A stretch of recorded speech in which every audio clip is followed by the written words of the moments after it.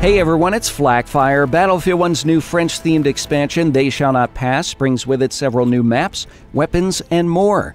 But the update tied into the DLC brings a couple exciting new features to everyone for free. One of the big additions is the inclusion of new melee weapon puzzles to Battlefield 1. The recent update adds the Saber, Billhook, and Kukri to the game.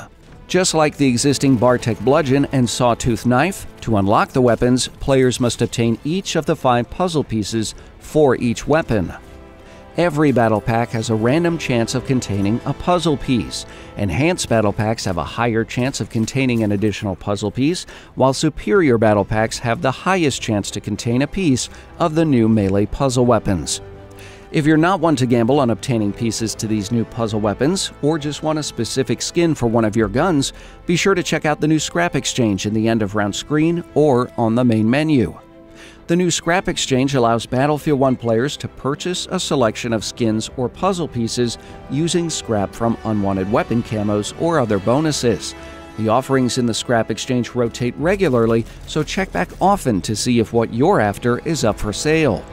Currently, special skins cost 300 scrap, distinguished skins cost 750 scrap, and then legendary skins or puzzle pieces cost 1,710 scrap. Now, that price may seem a little bit steep for some, but at least when you purchase with scrap through the exchange, you're getting what you want and it's not left up to chance. That's a small price to pay to guarantee success. Again, both the new melee weapon puzzles and scrap exchange are available to all Battlefield 1 players, so it's nice to see DICE including new content and innovations for everyone. What are your thoughts on the new melee weapon puzzles in Battlefield 1?